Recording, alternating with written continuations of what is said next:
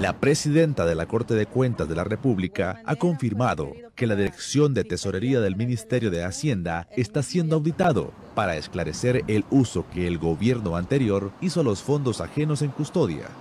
Sí, confirmo que así hemos hecho un examen especial a lo que es el rubro de gastos reservados, periodo 2014.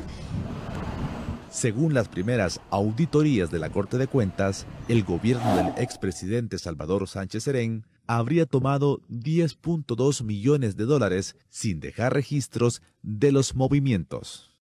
Se ha pasado a lo que es la etapa jurisdiccional del juicio de cuentas, en, eh, en lo que es la competencia de la Corte de Cuentas. De igual manera fue requerido por la Fiscalía General de la República.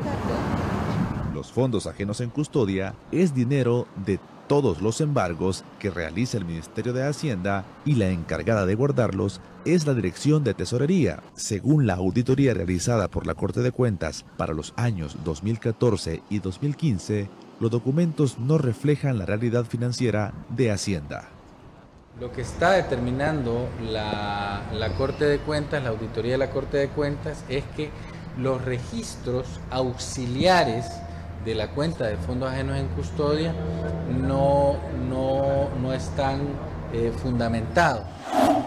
Ante este caso, Óscar Ortiz, quien fue vicepresidente de la República en el gobierno de Salvador Sánchez Serén, dijo que lo que está haciendo la Corte de Cuentas es un proceso normal al finalizar un gobierno.